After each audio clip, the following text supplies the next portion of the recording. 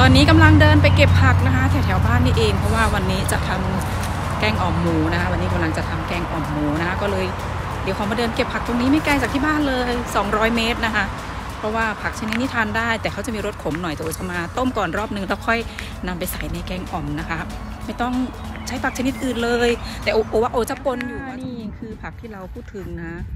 ผักตีนตุ๊กแกนะที่นี่นะคะถ้าแปลมาก็อารมณ์ภาษาประมาณเขาเรียกที่นี่ว่า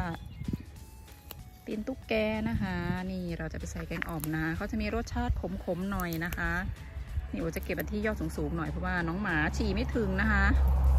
เตาที่ยอดที่สูงๆหน่อยอยู่ไม่ไกลจากบ้านเลยนะคะ ประมาณ 200 เมตรเองเดินมาแป๊บเดียวนะคะ เพราะว่าโอ๊ตไปมีผักชนิดอื่นร่วมด้วยแต่จะเอาผักอันนี้ไปใส่ในแกงอ่อมด้วยครั้งที่แล้วโอ๊ตเก็บไปลวกจิ้มน้ำพริกนะคะ รอบนี้ก็เลยเอามาใส่แกงอ่อมละกันนะคะ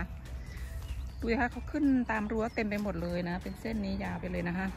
จะขึ้นเฉพาะหน้านี้เนาะนะคะ มีให้เก็บเยอะแยะเลย ก็จะเก็บไปปนกันนะคะโอจะไปต้มน้ำก่อนรอบนึงเพราะเขาจะมีรสขมนะคะ มีรสขมไปต้มก่อนรอบนึงเสร็จแล้วก็ค่อยนำไปใส่ผสมในอ่อมของเรานะคะเมนูของเราวันนี้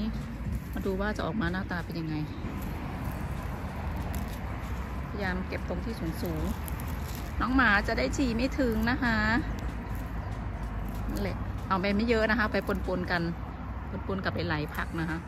เพราะว่าโอมีแค่ผักกัดขาวนะคะ วันนี้ไม่ได้มีผักอย่างอื่นเลยผักชีลาวก็ไม่มีเสียดายมากๆเลย คือใช้แค่ผักตามที่เรามีไม่ได้ไปซื้อเพิ่มนะคะโอเคได้มาแล้วแค่นี้แหละ ใช้ไม่เยอะนะคะ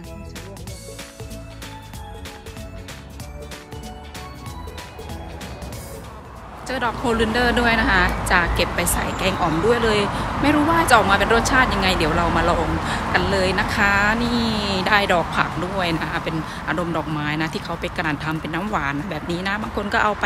ชุบแป้งทอดนะทำเป็นขนมทำเป็นอาหารว่างทานก็อร่อยเหมือนกันเดี๋ยววันนี้โอจะไปทำใส่แกงอ่อมนะคะทุกคน